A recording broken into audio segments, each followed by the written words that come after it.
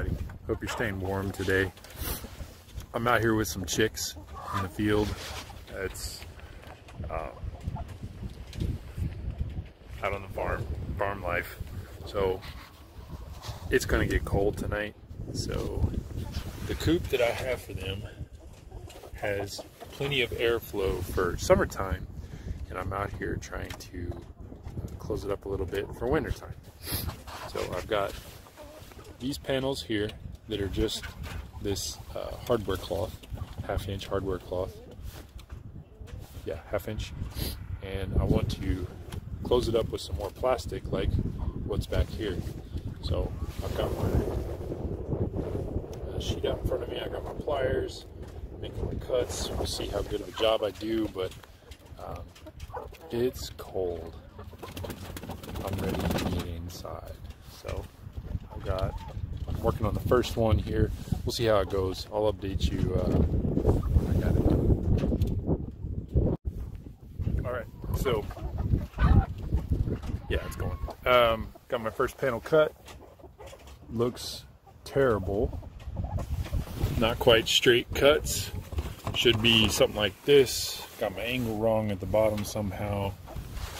I don't really care, and I don't think these chicks are gonna mind. So it's, I can lower it down, little nasty up top, lower it down, screw it in place. It's gonna do what I need it to do to block 90% of the wind from this direction. I'll go around to the other side, do the same thing, and I'm gonna replace those two front panels. We'll shut the door tonight, lock them in it, and there'll be a breeze on the bottom, but it should prevent most of the wind from coming through. So I'm gonna get it done before it gets dark. By the way, I don't do this for you guys. I do this for Julie so she knows I'm not just out here drinking in the workshop or something. Good night. All right, part two. Um, out here actually moving the chickens today. I'm getting them a little closer to the workshop, which is providing a little bit of a windbreak. You can probably still hear the wind. So let's see how I did last night while I was drinking and working. Just kidding. Uh, back up a little bit. So I knew it wasn't going to cover the uh, the little triangle at the bottom, but I got them on. Got my two new panels on the front. Door closed. Bar for moving. And the other side. The other side looks a little better, but uh, still not great. Anyway, that's what happens when you work in the dark. You wait till last minute and you're out of town for a month and can't get these things done in advance. Anyway, hope everybody's having a great day. It's cold, but not as windy. Um, just getting ready for the next few days. It's going to be an Arctic blast of some kind. Um, don't really watch the news or anything, so again, last minute work, but have a wonderful Saturday. Here's another pro tip. Um, when it gets this cold and you got cows and water hoses, they freeze. But these don't. These are hydrants. And the valve is actually down in the ground. This, by the way, if you're from up north, you already know all this. But for my Texas friends, these are not easy to find. They don't normally keep them in stock anywhere. So you got to order them. But if you're putting in water lines, or if you um, break some in the next couple days, replace them with these. It's a lot more work to get it drilled down, I mean uh, dug out down to where the pipe is. But the valve is in the ground, so it doesn't freeze because the ground doesn't freeze here. Although in the next few days we might, I don't know, get an inch of frozen ground, whatever. We'll see. But they work. It's in the 20s here right now. And it works. It's great. Have a great day. You know it's cold when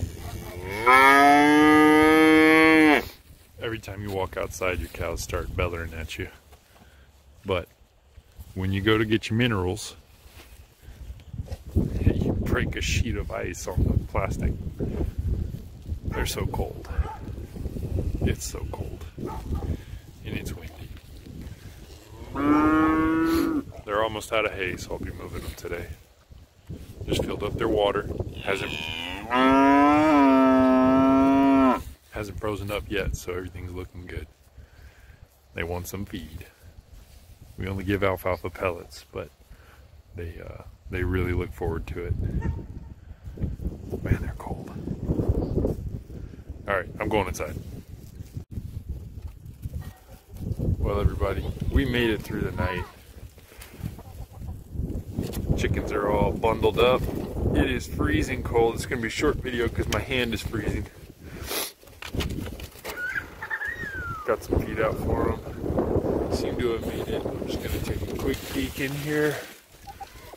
Everybody's alive. Live and happy. Water is another story. I'll have to do something about that in a bit. Food first, warmth. All right, good day. All right, so it's probably a rough night for everybody, but I think the cows may have had it worse. Worst of all, anyway. I went ahead and fed them this morning so they had something. Icicles on the ears, buddy. Oh, that's rough.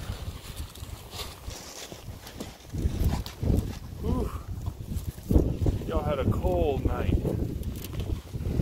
I may feed them a couple times today. Dang. So cold. Alright, I'm gonna bust up their water trough. My hand is freezing. It's uh, the porch thermometer says it's 12 degrees outside. So coldest I've ever been in, in Texas for sure. Y'all stay warm. All right, it's all about the small wins, right? So I was able to start, well, first off, we haven't had electricity uh, more than 20 minutes this morning. So um, keeping the animals watered has been the biggest chore.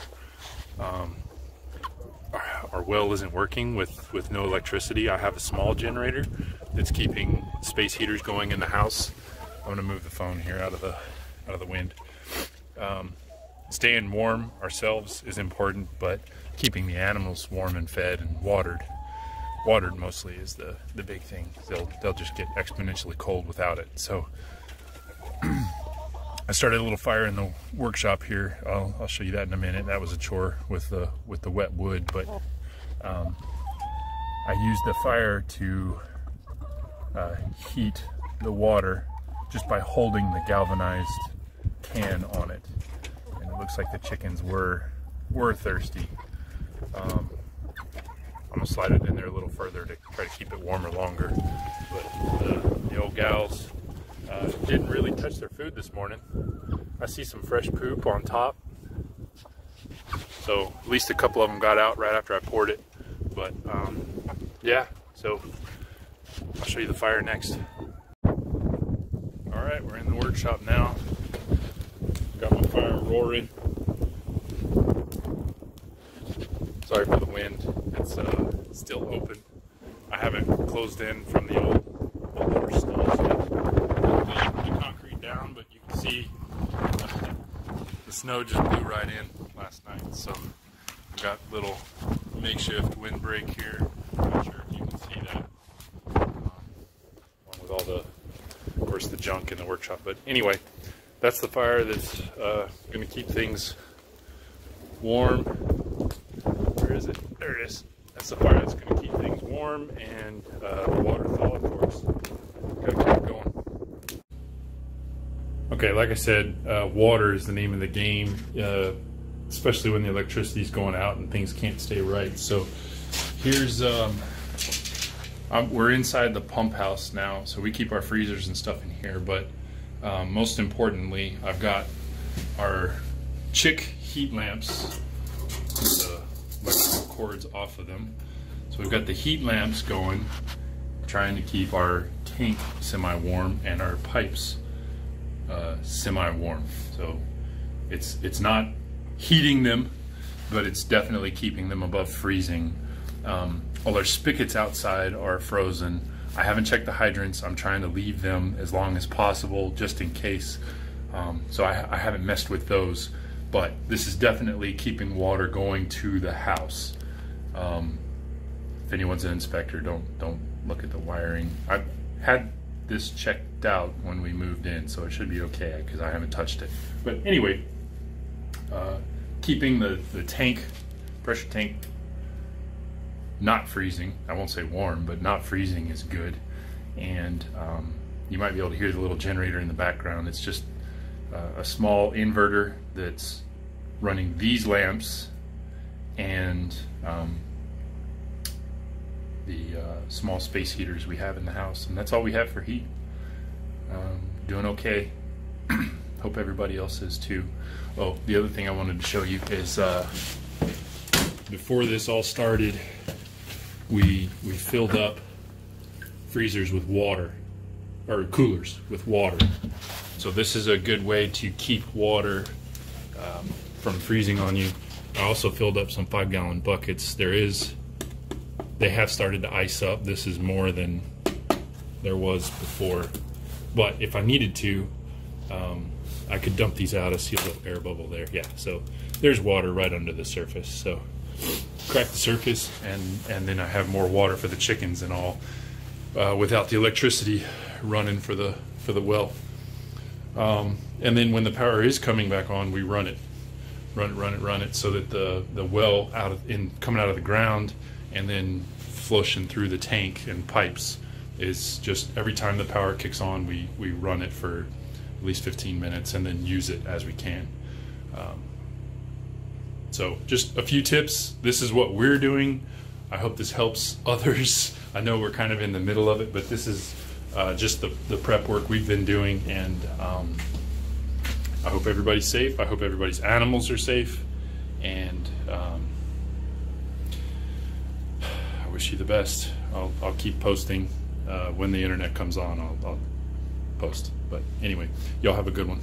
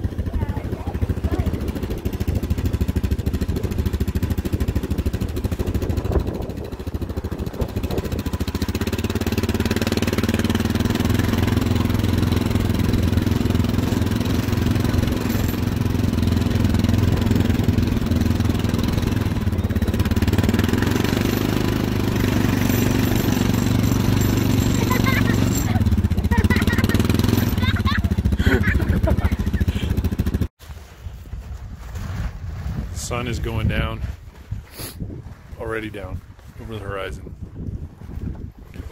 Lots of snow still on the ground. Lots of hungry cows still. Most of the icicles are gone now. But they still have some. It's still cold. And it's going to get colder tonight. Um, we have lost water here. Um, the pipes are now frozen. Um, so hopefully they don't burst. We'll leave them open, but I think whatever damage is done is probably already done. Um, we just went too long without power, and we were unable to, to flow enough water through the pipes um, for, for too long of a period. So it is what it is. I showed you our water stocks already. I know you don't want to see me, you want to see the cows. They're eating their alfalfa pellets. Like I said, it's just a snack, but it gets them through when things are really cold. So, all right, everybody. Um, we're gonna pack it in for the night. Uh, be coming out quite a bit to check on the animals, but they should be in a little better spot now out of the wind. So we'll just see.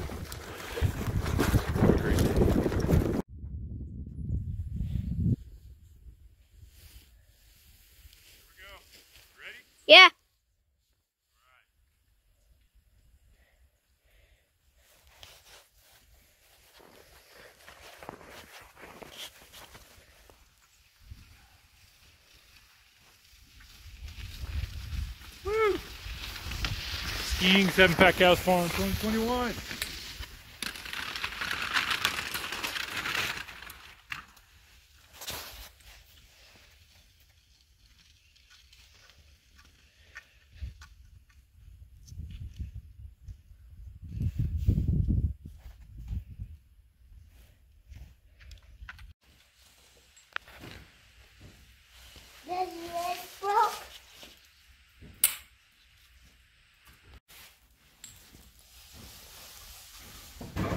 River's first ski lesson, and he never left the farm.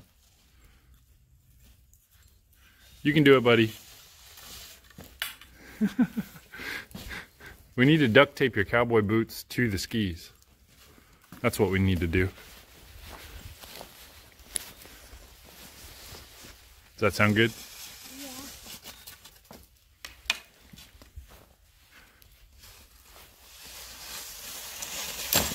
Yes. Good job. Good job. All right, I've been working on the water all morning. Finally got water flowing at the horse barn. Um, and I just saw, I I was starting to get worried that I was just draining the, the pressure out of the tank here. So I came into the pump house and uh, I watched it go from about 47 psi up to 51 psi. And then while I'm in here, I just started hearing it. I guess that's refilling um, from the pump. So, or yeah, from the from the actual well. So things are moving. We're uh, we're getting water going now. Um, hopefully, we can keep it going with. Um, or maybe that was water breaking loose at the house or something. So uh, we'll we'll see what happens. Stay tuned. Water and put it in a jar. So this little baby bass jumped out of the hole I just put in the pond. So the pond is is frozen. It's only like a half inch layer. So I'm gonna put this little dude back in. Well, to. We're not gonna keep him, River. We want him to live, so we're gonna reintroduce him. There he goes. Just swam away. Daddy, I'm on the ice. Don't do that with your boots on, son. All right, so we made a snowball. I'm gonna toss it on the frozen pond here. We'll see how far it goes. You ready? Yeah. Let's do it.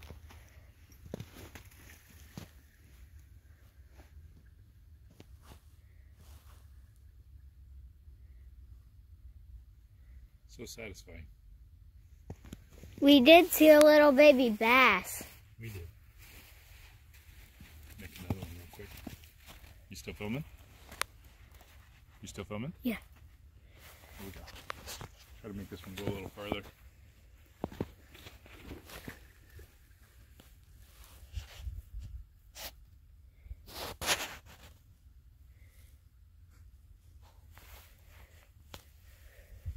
So fun. Cool. Thank you, son. All right, good news. Water is back on. We got water. We got electricity for the water. Um, life is good, and that means not just uh, we got two two water systems. There's one for the for the animals, and there's one for the house. They both run off the same water well, the same pump, um, but they were both frozen separate from each other. So uh, the animals' water came up first, and because of the troughs and not having to bust up and having to replenish the water for the the cattle trough from a spigot that uh, is frozen solid still. Um, I've been boiling water, so I take a couple gallons at a time and I boil it here off this fire. Real good. Almost back to normal. I hope everyone is able to stay warm and get the electricity turned back on wherever you're at. Um, we're praying for you. This has been rough. Uh, it's been a lot of work. There's a lot of preparation that went into keeping things going and definitely took a lot of notes. Uh, there was a lot of lessons learned here, so things will go smoother in the future for the next round. It only seems to be getting colder every year. I think last year, the year before, it got down to 16 for a few hours here. We did not freeze then, but uh, we did freeze because of the power loss this time. So, um, anyway, I think we're through the, the hard part. Uh, we'll see if the rolling blackouts get us, but uh, we'll see. All right, we're driving up the road to Blackwood, trying to help them out with their chickens. See, they've got, should have done this before, sorry guys. Their pond is partially frozen. Let's see, where they have their um, water going, their aeration, it's not frozen, but it is on the edges. cold temperatures. All right, we're gonna check things out, help them with their birds. So River just put out a little bit of feed for them. They all seem to be here doing fine. Good looking birds, happy birds. No scruffy birds.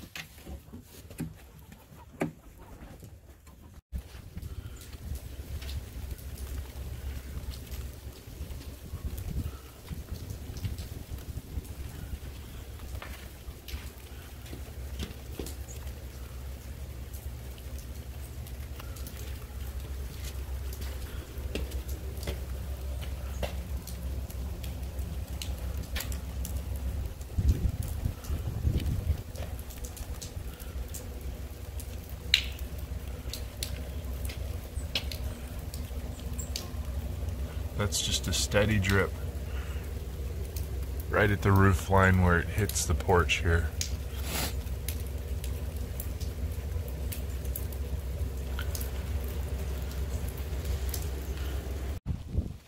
Water is landing right here. All the snow has melted on top.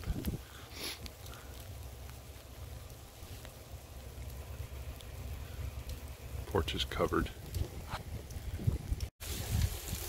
It's nowhere near as cold today. It's only like freezing or just above. But it is raining. It's a nasty mess. Not sure what you can see, but just coming down. So everything is melting and it's gonna freeze again. I don't know, today, tonight, whatever. The roads will be horrible. So Stay tuned. But all the animals seem okay. The chickens made it just fine. They're outside the coop, eating, drinking. The cows are out eating hay, so things are moving.